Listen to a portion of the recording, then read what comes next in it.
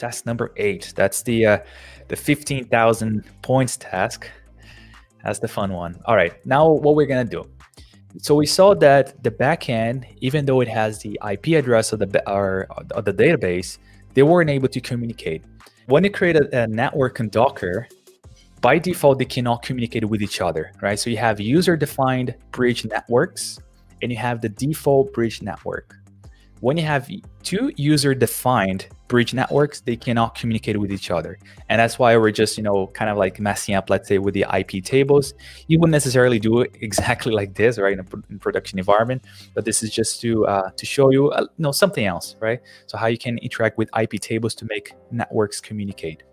So first thing we, we're going to do is to run, uh, just to list all of the rules that we have in the IP tables with this command.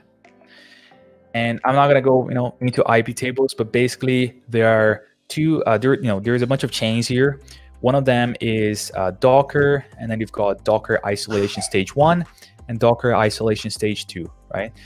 And and you know the, the the request goes through you know through these chains, and so from at some point it's going to get to Docker isolation staging one, and then you see that the target is Docker isolation staging two. That's the one that we're we care about here.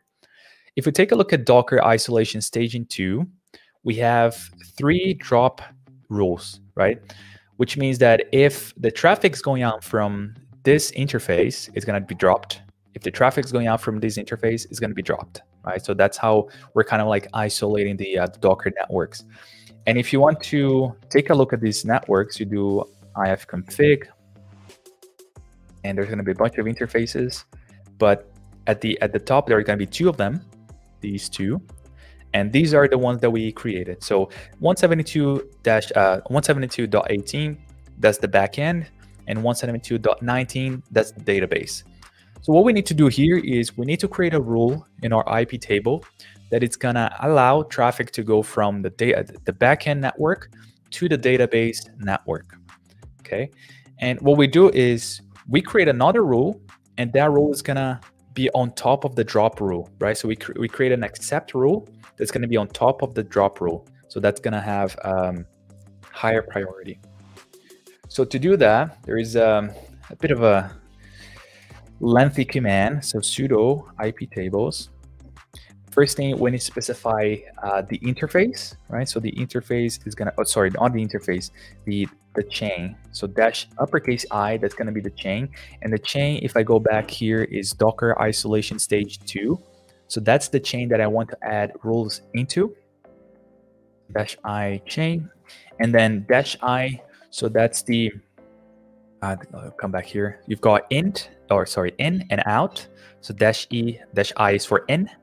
So what, what, I, what I'm going to do is I'm going to do from backend to database and then from database to backend. So I, I have to have two rules, right? So the traffic goes back and forth. So I'm going to grab the first one. So this is the backend and then out is going to be database. And finally, we need to say if the target is drop, accept, etc. So dash J, lowercase, and then all uppercase accept. If I bring IP tables again, um, yeah, so we have accept here at the top. So from this interface to this, the traffic will be accepted. Now let's do the all the way around. It's going to become in. This is going to become out.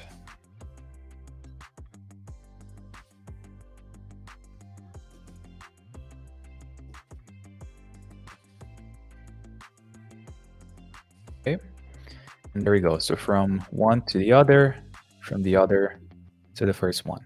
So that these are the two rules that we we had to add to our IP table. And what else here do I need? I think that's it. Yeah, so now that the rules are there, we we can go to the back end and make sure that it can connect to the database. So to do that, what we need to do is we grab the ID of the backend container and run exec let me go back, run exec.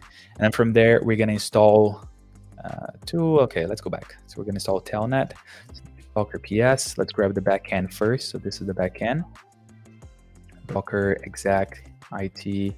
This is to go into the container and bring up the shell. All right, so this is the backend container. Let's add. Yeah, and notice that this is, you know, this is the, con the container is running here, right? So I'm not launching a new one. I'm just going inside the one that is running. So let me install telnet via that package. And then I can do telnet, IP address of the database 27017. Telnet 172.19.002, I believe, 27017. Yep, there you go. So it says connected.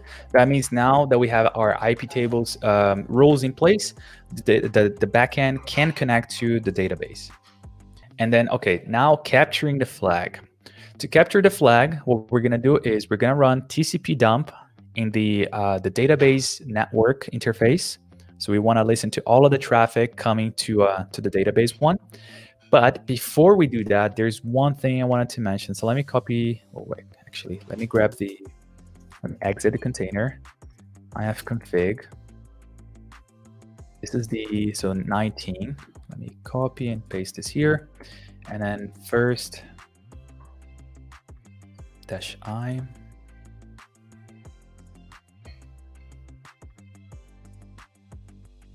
and all these options. I run this, you see that nothing's happening. And I don't know if anyone, you know, uh, had this problem uh, during the event, but this is what I guess was part of the challenge as well to kind of like figure it out why this is happening. But basically, what's happening here is that you know the backend is not sending anything because it tried once, it didn't connect, and you know later on we included the rules, and now there is a route from the backend to the to the database network, but the backend is just like you know it's saying whatever, I'm not gonna try, right? So what we're gonna do is just rerun the backend container so it starts communicating with the database again. So let me kill this. Stop. Move. And let's see if I still have in history. That was the last one that I ran. Again. And Docker. Now it says connected to MongoDB. So we know that you know at least a little bit of traffic was sent to that um, database network interface. Now let's run it again, TCP dump. Now we see something completely different. So this is you know the data coming from um, from the backend. What we're interested in for the for the flag. So let's take a look at the flag. We need to take a look at this line specifically from from that traffic. So we've got version and which is this one here, right? So let's take a look at this line. So what, what do we need? So the flag is the first two octets, uh, no space, of the hexadecimal representation reading from right to left. I know that there was a, a little bit of um, confusing uh, uh, confusion about this right to left, and you know I even mentioned to the person that's something we're gonna uh, keep in mind for the next one to try to explain a little bit better. But what we meant from right to left is like reading from right to left, and we're gonna read the chunks right? So it's, for example, if we're reading from right to left, it's not that it's to be 1656. It's still to be 6561, but we're just to reading the we're, we're reading the chunks from uh, from right to left. Okay, so we need two octets. Now, that's the that's the catch. So one octet is 8 bits. Two of them is 16 bits in total. This thing here is an hexadecimal uh, representation of the data and one hexadecimal character has four bits. So if you take 16 divided by four, that's gonna give you four characters, which means that 16 bits, that translates to four hexadecimal characters.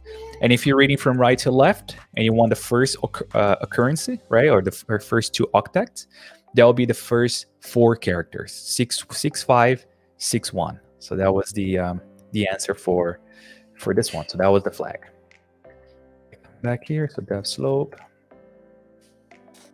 TF. There it is.